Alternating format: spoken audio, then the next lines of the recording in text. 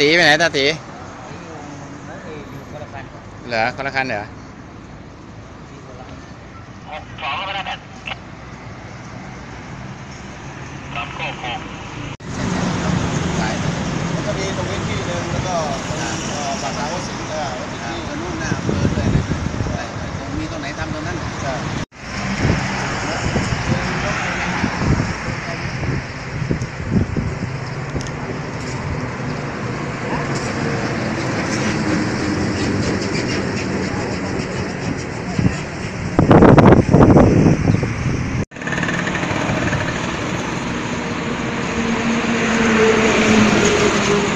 นู่นเอาเหลืองจากนี้ไปเลยนะท่านเนาะ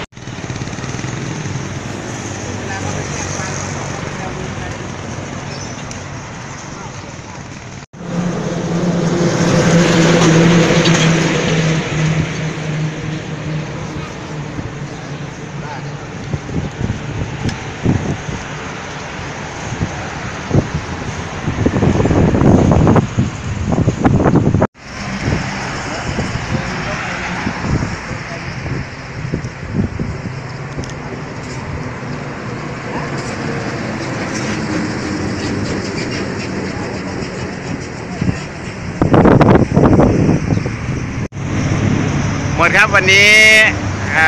มาทำกิจกรรมหน้าว่านกิษณาตีเส้นจราจร อยากจะให้หมวดได้คุยวัตถุประสงค์ที่มาตีเส้นหน่อยครับครับหลังจากได้ประชุมกกตลของ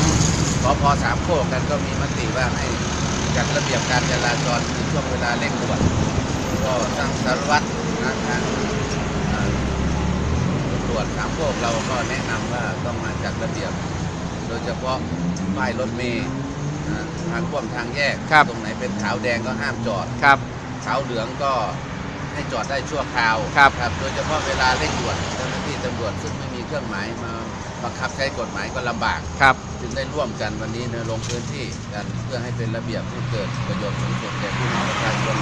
ทั้งผู้ที่อยู่สองข้างทาง แล้วก็ผู้เดินเท้าครับนะผู้สัญจรด้วย ครับ ก็ขอฝากบอกเอ่อบอกพี่ น้องประชาชนทุกคนนะให้บังคับให้ปฏิบัติตามเอ่อการกฎหมายจราจรนะครับครับ เพื่อเกิดประโยชน์สูงสุดและความปลอดภัยครับ ขอบคุณมากครับ ครับผม